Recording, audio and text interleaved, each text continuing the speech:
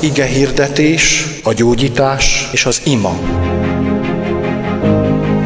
Hogyha a munkahelyen próbálom hűségesen tenni a dolgomat, és csak annyival vagyok becsületesebb, hogy nem veszek el semmit onnan, és a másik megkérdezi, hogy miért teszed ezt, hisz mindenki ezt teszi, akkor azt válaszolod, hogy nem teszi ezt mindenki, és ha kérdeztek, akkor válaszolsz, nem ige hirdetést végzel?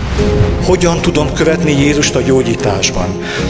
Amikor én imádkozom, megtelek szent lélekkel, amikor befogadom az Istent, akkor a mellettem levő megérzi és gyógyul. A jelenlétem gyógyít, és nem az én jelenlétem, hanem az Istenben való jelenlétem gyógyít. És hogy mi sokszor úgy imádkozunk másokért, hogy Istenem segíts meg őt, de imádkozzak magamért, hogy én legyek erős, hogy tudjak átutalni neki az én gazdagságom.